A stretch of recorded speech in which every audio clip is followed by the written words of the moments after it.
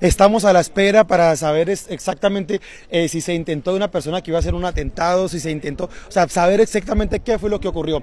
Al lugar ya han llegado, por supuesto, todos eh, eh, las autoridades competentes, también ya hay ambulancias, hay toda la fuerza pública a la espera. Como ustedes pueden ver, por supuesto, el hecho ha generado consternación por parte de la comunidad que está preocupada y al pendiente. Lo bueno que podemos en este momento informar es que nadie de la comunidad resultó herido, digamos, algún vecino, eh, solamente al parecer la persona que estaba manipulando el artefacto explosivo fue la que falleció luego de haber perdido parte de sus extremidades, es la única muerte confirmada. Así es que por favor muy pendientes, vamos a seguir llevándole información a través de la red informativa más importante de los llanos orientales. Ahí se ven por supuesto los policías rondando eh, para que puedan, eh, para, por supuesto con linternas que ellos tienen, pero aún no ha llegado o no hace presencia la policía antiexplosivos. Por favor no se desconecten en minuto, volvemos a través de James Informa, la red informativa más importante de la región de los Llanos Orientales.